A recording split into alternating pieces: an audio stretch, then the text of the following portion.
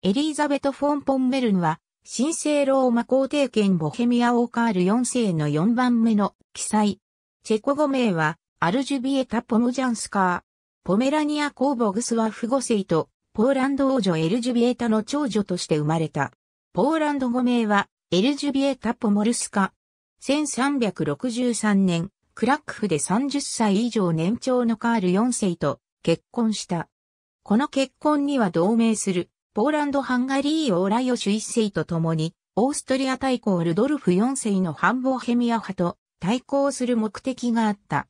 1363年、エリーザベトは、プラハでボヘミア王妃として退官、1368年には、神聖ローマ皇后として退官した。野心的で健康であったというエリーザベトには、6人の子が生まれた。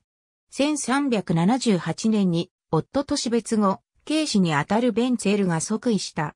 エリーザベトは、ジギスムントとヨハンの二人の養育に取り組み、ジギスムントがハンガリー王位を獲得するのを支援した。